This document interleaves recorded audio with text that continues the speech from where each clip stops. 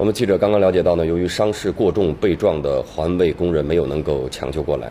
但是过路的女司机江玉琴的出手相救陌生者的这样一个行为，让我感受到了极大的社会的温暖，来自一个个体。呃，当然这样的温暖也让我想起了八天前一个孩子的车祸所带给我的那一份冷。今天这个小生命已经离开了，让我的心情非常的沉重。八天前，广东佛山一个两岁的小女孩叫月月，在遭遇车祸之后，躺在地上七分钟时间。先后有十八个路过的人，没有一个人伸出手来帮他抱起来，直到第十九位路过者，一个拾荒的陈婆婆才将两岁的小月月救起。在今天上午八点三十分的时候，广州军区总医院，呃，发布消息说月月抢救无效，已经死亡。我相信电视机前，包括网络上每一位听到这个消息、看到这个新闻的人都会觉得齿冷心寒，都会问。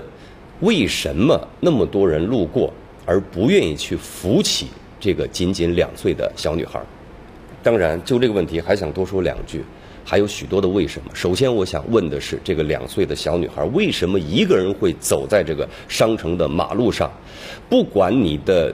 呃呃，父母亲有什么样的理由？生活如何的窘迫？如何在外打工？如何有多么重要的事情？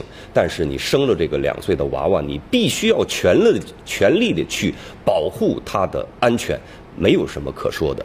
另外，我还想说，直接导致这个孩子死亡的那个肇事的司机，事后司机在接受媒体采访的时候说：“我看到这个小孩被撞了，我下车看到遍地是血，我希望他死掉，因为小孩子死掉我就赔的两万块钱，如果不死的话，十万块钱都没有办法打住。”我想请问，这么寒心无耻的话，他为什么能够说出来？这样的想法，想法，他为什么能够存在于他的心底？像这样的事情，对于撞到人之后，希望他死亡就可以一次性了断，如果不死亡，可能一辈子麻烦的这样一个潜规则的想法，在多少个司机的心目当中存在？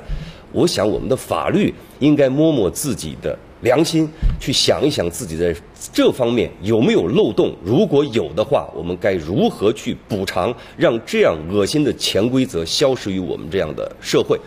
当然，这个事情发生之后呢，也引起了广东省委高层领导的关注。我们接下来看一下，广东的省委书记汪洋就这个事情就提请全省来认真的反思一下。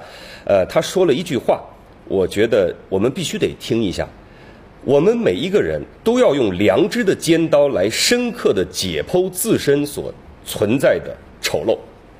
也许我们不是当时路过小月月身边见死不救的那十八个人之一，但是你和我是不是这个时候应该静下心来解剖一下自己，看看我们自己内心的深处有没有像那十八个人那样的冷漠？